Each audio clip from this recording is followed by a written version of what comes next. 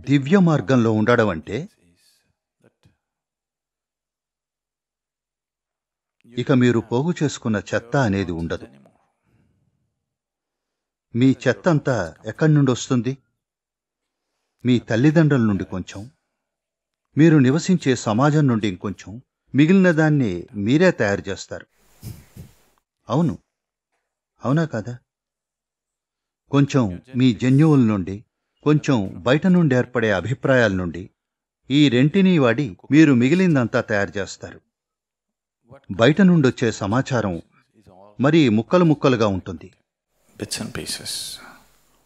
బహుశా ఈ సమాచారం మీ మనుగడకు ఉపయోగపడచ్చు. అవును. ఏదైతే మీ జన్యువుల నుండి వస్తుందో చార్ల్స్ డార్విన్ మీకు చెప్పారు కదా ఒకప్పుడు మీరు కోతి అని. కాబట్టి మీరు నేనెవరు అన్నది నా జన్యువులు నిర్ణయిస్తాయి అంటే ఇక మీలోని ఆ కోతి గోల ఎప్పటికీ అంతం కాదు. ఎందుకంటే ఇప్పటికీ కూడా మీ డిఎన్ఏ ఒక చింపాంజీ డిఎన్ఏ నుండి కేవలం ఒకటి పాయింట్ రెండు మూడు శాతం మాత్రమే భిన్నమైంది. మీ పరిణితి అంత మాత్రమే. కాబట్టి మీరు మీ జన్యువులపైన ఎంత ఎక్కువగా ఆధారపడితే మీరు అంత ఎక్కువగా కోతిలా తయారవుతారు. నేను కోతి అని ఎందుకంటున్నానంటే మీరు మీ జన్యువుల ప్రకారం వెళితే మీరు పునరావృత స్వభావంతో ఉంటారు. మీరు ఇలా ప్రయాణిస్తే ఒక్క క్షణం మీరు ఎరుకతో లేకపోతే మీరు అలా వెళ్ళిపోతారు.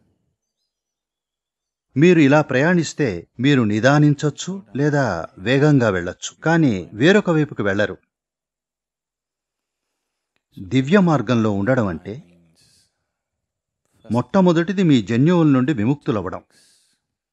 ఈ నేపథ్యంలోనే శివుణ్ణి స్వయంభూ అంటారు. అంటే ఆయనకి వంశం లేదు. ఆయన దాన్ని విడిచిపెట్టేశారు. ఆయన తన తల్లిదండ్రుల్ని తనలో నుంచి చెరిపేశారు. తండ్రి లేడు తల్లి లేదు తానే ఉన్నాడు. ఎందుకంటే జన్యువులంటేనే పునరావృతం అవ్వడం. పునరావృతం అంటే చక్రగతిలో తిరగటం. మీరు ఆవృతాలు చేస్తున్నారు. మీరు ఎక్కడికి వెళ్ళడం లేదు. కాబట్టి ఈ నేను అనేది మీరు వేదాంతంలో ముక్కలు ముక్కలు చదువుతున్నారు. దయచేసి ఆపండి. ఇదంతా చదవకండి. నేను నా చైతన్యం నా సాక్షి సాక్షిని చూస్తున్న సాక్షి ఎక్కడ సాక్షి సాక్షి. మీరిలా అంతం లేకుండా వెళుతూనే ఉండొచ్చు. సాక్షిని సాక్షి చూస్తాడు ఆ సాక్షిని సాక్షి చూస్తాడు. సాక్షి సాక్షి. ఇది కేవలం ఒక మానసికమైన ఆట మాత్రమే. అజ్ఞానులు తెలిసిన వారిలా నటించడమే.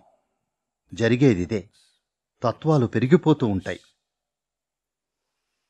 ఒక సమాజం ఎంత ఎక్కువ ఫిలసాఫికల్గా ఉంటే లేదా ఒక వ్యక్తి ఎంత ఎక్కువ ఫిలసాఫికల్గా ఉంటే అతను అంత ఎక్కువగా ప్రపంచానికిలా చాటి చెప్తున్నాడు. తనొక వేషధారిణని ఏదైతే తనకు తెలియదో అది తెలిసినట్టుగా నటిస్తున్నాడు అని సింపుల్గా ప్రాక్టికల్గా ఉండే ప్రజలు వాళ్ళకు తెలియదని వాళ్ళకు తెలుసు. పైగా తమకు తెలియనందుకు వాళ్ళు గర్వపడతారు. అది సమస్య. కాని కనీసం వాళ్ళకు తెలియదని తెలుసు.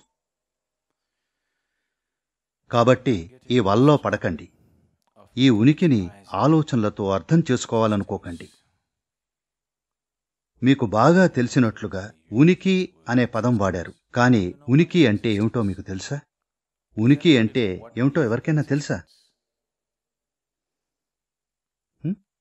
ఎవరికైనా తెలుసా? ఎవరికీ తెలీదు.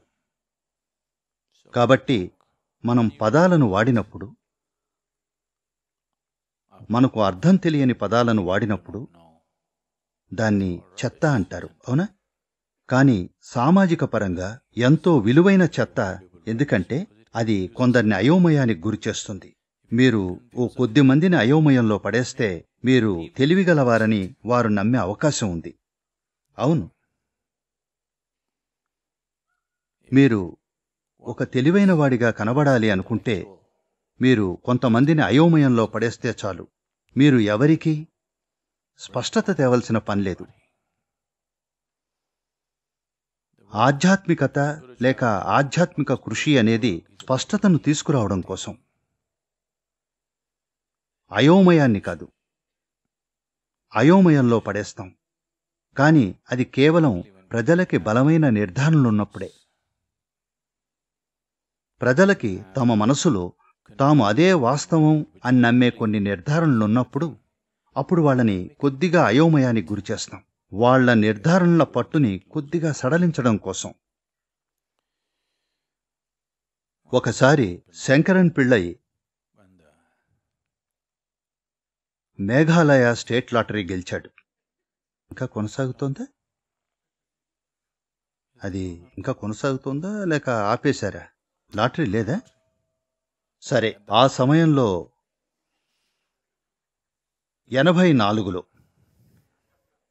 తారీఖు మారుద్దాం. సమస్య ఉంది తేదీలను సృష్టించింది మనమే. మనకు కావలసినట్లు మనం వాడుకోవచ్చు. అవునా? ఇప్పుడు కాదు. ఎనభై నాలుగులో అతను లాటరీ గెలిచాడు. అప్పుడు ప్రజలు గుమిగూడారు. పత్రికల వాళ్ళు గుమిగూడారు. అందరూ అబ్బో నువ్వు లాటరీ గెలిచావు. యాభై ఆరు కోట్లు. ఆ రోజుల్లో మీరు వినే ఉంటారు కదా?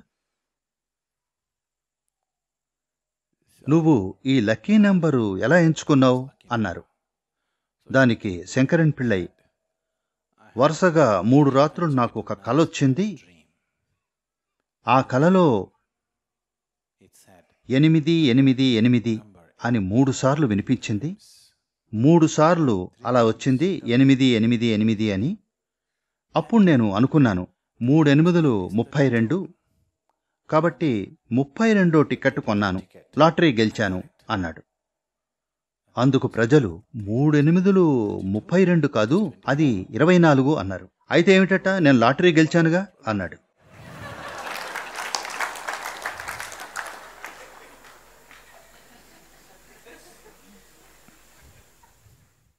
కాబట్టి నేననేది సృష్టి మీ తర్కంలోకి ఎమడదు. అది తర్కపరంగా సరైంది కాదు. తర్కపరంగా సరైంది కాదు. కానీ అది అమోఘమైంది. అయితే ఏది తప్పు? అయితే ఏది తప్పు అంటే మీ తర్కం చాలా పరిమితమైందని అవునా? లేదు ఉనికి సరిగ్గా లేదు. అది నా తర్కంలోకి ఎందుకు ఇమడటం లేదు అంటే ఇది ఒక పిచ్చివాడి వాదన. అవునా? ఉనికి ఈ విధంగానే ఉంది. మీ తర్కం అందులోకి ఇమడలేకపోతే మీ బుర్రలో సమస్య ఉన్నట్టు ఉనికిలో కాదు.